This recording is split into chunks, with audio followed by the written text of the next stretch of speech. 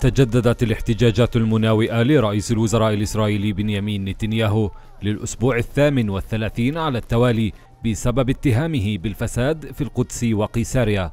وفي ميدان بلفور في القدس احتشد المئات أمام مقر رئيس الوزراء الرسمي حاملين لافتات وشعارات تطالبه بالتنحي والاستقالة. وفي قيساريا احتشد العشرات بالقرب من بيت رئيس الوزراء الشخصي احتجاجا على إدارة حكومة نتنياهو لأزمة كورونا التي خلفت نحو ستة آلاف حالة وفاة. وسط شعارات اتهمت نتنياهو وحكومته بأن قرارات الحد من انتشار كورونا كانت لأغراض سياسية وليست لأهداف صحية.